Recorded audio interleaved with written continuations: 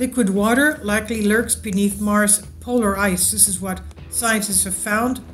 As one of the researchers involved in the study pointed out, liquid water hidden under the ice is hardly unheard of, as such lakes actually exist beneath glaciers in Arctic and Antarctic regions of our Earth.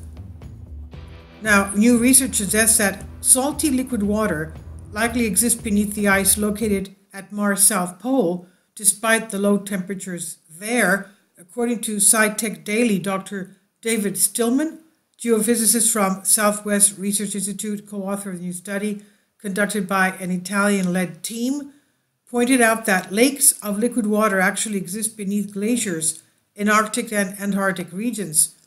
The exotic salts that we know exist on Mars have amazing antifreeze properties, he says, allowing brines to remain liquid down to 103 degrees Fahrenheit, minus 130, uh, 103 degrees Fahrenheit. He says, We studied these salts in our lab to understand how they would respond to radar.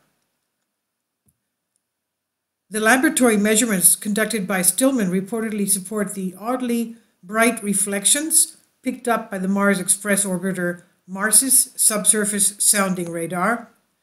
He said my Italian colleagues reached out to see if my laboratory experiment data would support the presence of liquid water beneath the Martian ice cap. Stillman explained the research showed that we don't have to have lakes of perchlorate and chloride brines, but that these brines could exist between the grains of ice or sediment and are enough to exhibit a strong dielectric response. This is similar to how seawater saturates grains of sand at the seashore, the shoreline, or how fa- flavored, uh, flavoring permeates a slushy, but at minus 103 degrees Fahrenheit, below a mile of ice near the south pole of Mars, he says. So we'll see what they come up with. This is by Andrew Dergalin Sputnik.